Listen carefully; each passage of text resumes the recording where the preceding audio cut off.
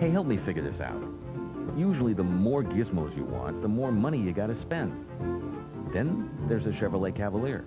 It gives you a lot of the same gizmos that make expensive cars easy to live with. For about half the price.